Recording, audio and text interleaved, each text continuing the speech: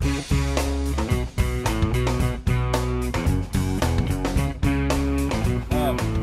Fly Shop today. I'm standing outside our shop. It's uh, December and uh, beautiful day in Hood River. Lots of people hanging around.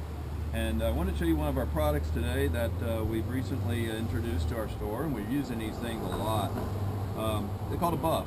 Um, the unique thing about a buff is it's basically a seamless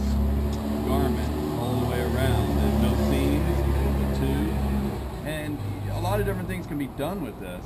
The main thing I like to do with these things is to keep my neck warm. When I'm out winter steelheading and the, weather's cold, I like to pull one of these on my neck like this. Allows me to get my jacket zipped up here and it really creates a lot of warmth for me around my neck. It really helps me stay warm.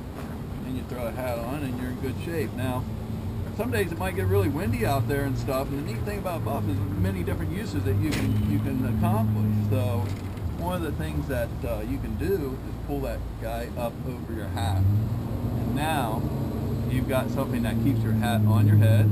You've got coverage on your ears, and you got a lot of warmth there. These, these things are really, um, you know, they're really uh, designed for the guys fishing tropics for sun protection, and we use them for that too. But I've also found tons of use in the wintertime, keeping myself warm and uh, and comfortable. Um, there's several other uses, and sometimes if I uh, I like to do this. If I just got a cold head and maybe I'm on my way to the river and just starting out early in the morning and I, I need to keep my ears cold, sometimes I'll just put it over top of my head. And you know, for a guy like me, that's kind of important sometimes. So, you know, we've got these in several different colors. Um, they, they rotate all the time. Um, you know, sun protection. Um, they seem to last forever. They dry quick. They're actually they're warm for the winter. Excuse the traffic there, but they're warm for the winter, but they're actually they're not hot in the summer. So you, you know these things are totally uh, capable of being worn in the tropics.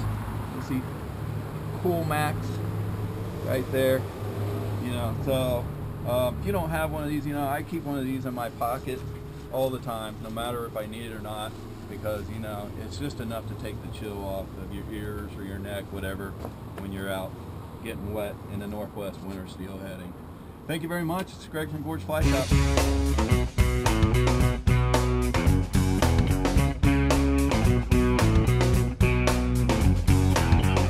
lifted by my crouched on the sill.